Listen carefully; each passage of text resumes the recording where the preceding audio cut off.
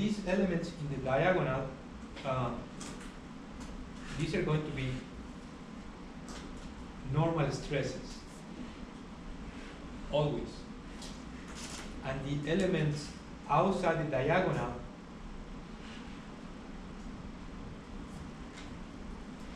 so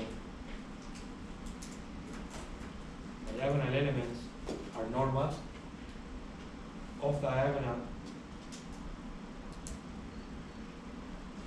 are going to be shear stresses.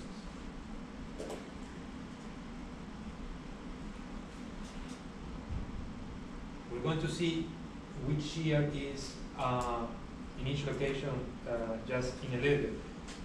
But, but before we do that, uh, just to make this example uh, add some numbers to it.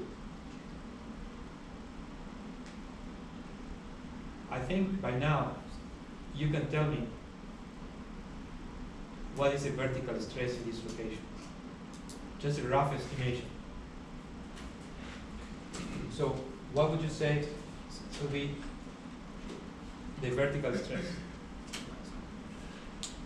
Let's do it in units of PSI. Don't forget the units. Units are very important. It's a place onshore. The depth is 10,000 feet. Therefore, the vertical stress should be more or less much? You remember the gradient of vertical stress was 1 psi per foot. So in this particular case, the vertical stress is 10,000 psi. Uh, rough estimation. Uh, let's say that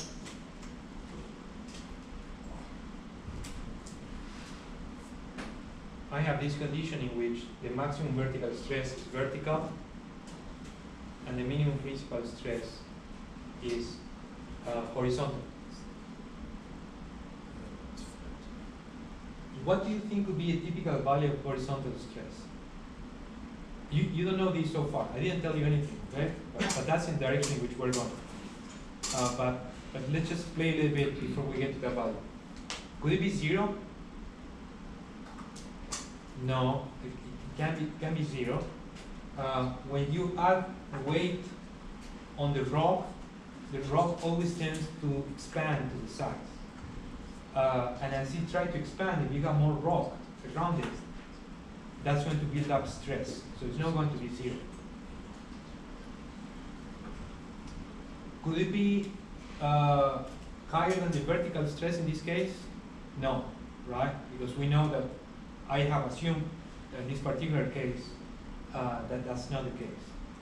So a typical value for this minimum principal stress under hydrostatic condition is going to be more or less, but this, this is just an estimation, okay? 60 to 70 percent of the value of SV. Yes, Did you do the inequalities uh, wrong? sorry? Did you met, like flip the inequalities? It should be less than. Is it should be less than? Uh, ye- yes, yes, yes, thank you. Yeah, yeah, these symbols, they don't make sense, Mhm. yeah. Should be this one. Thank you for that. Okay, uh, so in a normal faulting setting, uh, with hydrostatic pore pressure, we're going to see, we're going to develop all the equation that tells us that this can be from seven, 60 to 70 percent. And this is what you know also as a frac gradient or the fracturing pressure. Because that's the minimum absolute pressure that you need in order to uh, create a hydraulic fracture. So let's say for this example, this is uh, 6500, and let's say that I'm just making up this number, this one is 7000. But now we have completed the stress uh, tensor for uh, this particular place, uh, place. Let me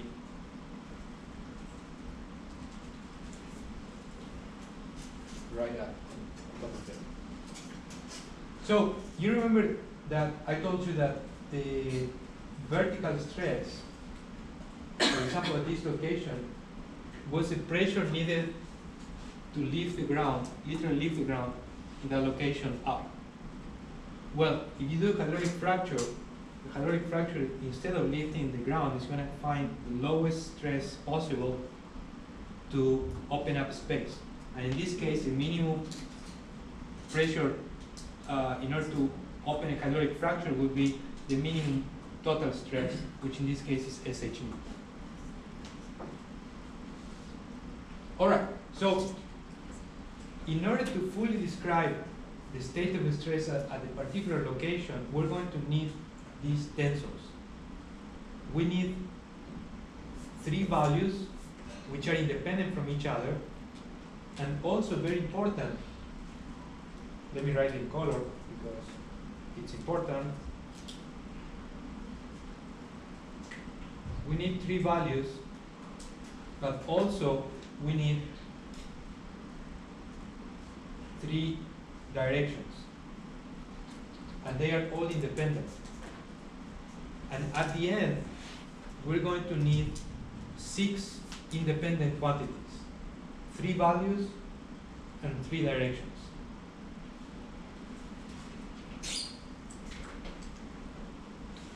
All right, so let's talk now about shear stresses and we're going to complete uh, this stress tensor and see uh, how it looks. Uh, and we're going to uh, have to make here uh, adopt a convention for that. Uh, we're going to be working in three dimensions. So I'm going to write, I'm going to draw my axis of three dimensions. We're going to use the right-handed coordinate system. Uh, and that means that you use your right, right hand, and the first element is your index, second is middle finger, and third is your thumb. So if I chose that particular one, uh, and let's say I want this one to be 1, so if this is 1, this is 2, and this one has to be 3. Uh, notice that three, you can have one and two go in this direction, but three has to go in that direction. It cannot go down, because otherwise it's not going to be right-handed coordinate system.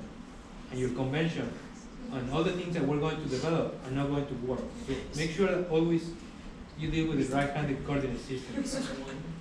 This one, index one, middle is two, thumb is three. So for this example, this one is going to be one, this one is going to be two, and this is going to be the axis number number three.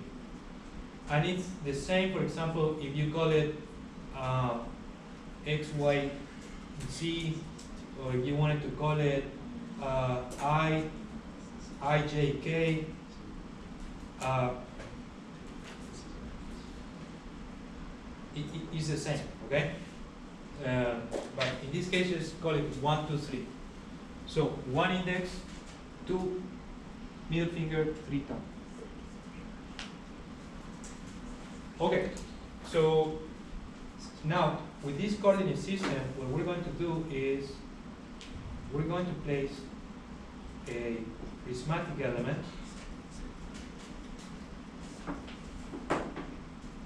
and in this prismatic element we'll draw all the components of stress. Okay, um, so for this particular coordinate system, we said that we're going to have nine elements. We already saw what was S11, S22, and S33.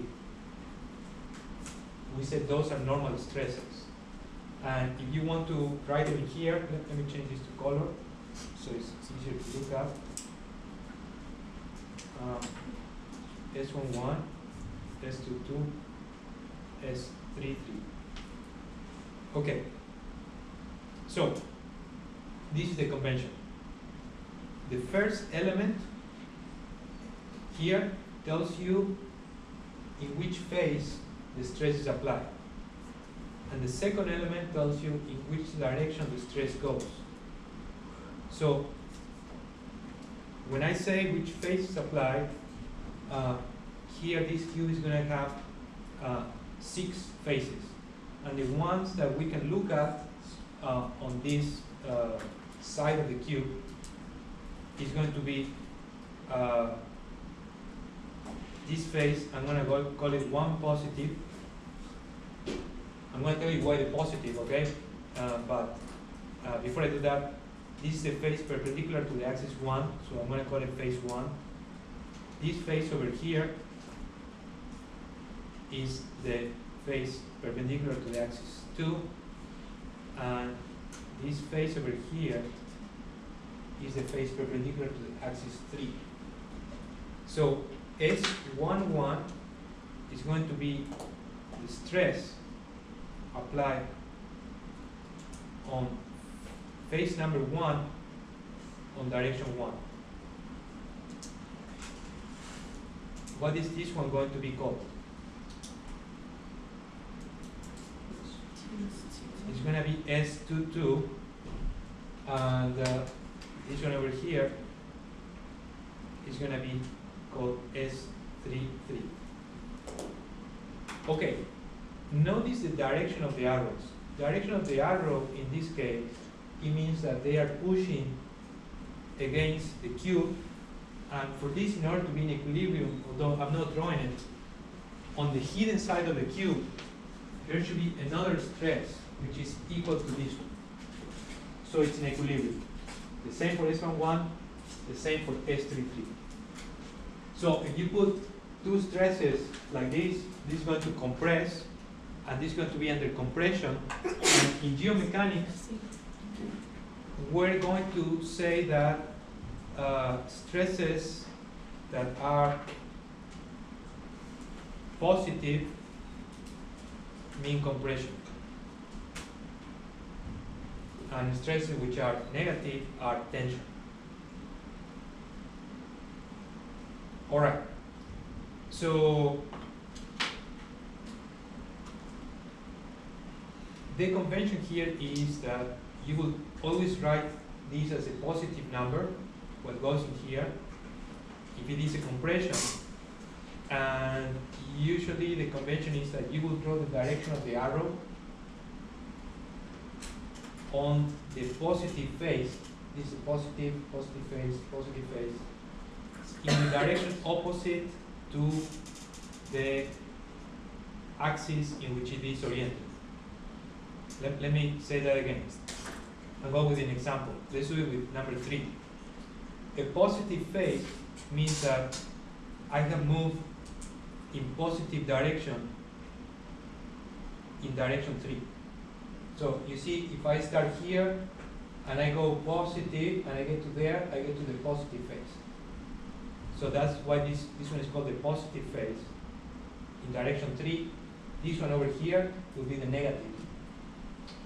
And in that positive phase, I have to always draw the stresses in a direction which are opposite to the direction of the base. And that's going to be a positive number. For the case of the normal stresses, it's uh, a little bit uh, easier but for the shear stress, it'll be more complex. So uh, let's do that. Shear stresses are going to be in the off diagonal terms, and this is going to be S23, S32. And they're going to be drawn with the same convention of the other stress. Just one more minute, guys. Um, let's do these two examples. S12 and S13, in which phase are going to be applied? One, On phase number one, and this S12, in which direction it goes? two, In direction two, and in the positive phase, it's going to be in direction opposite to the axis. So this is going to be S12. And S13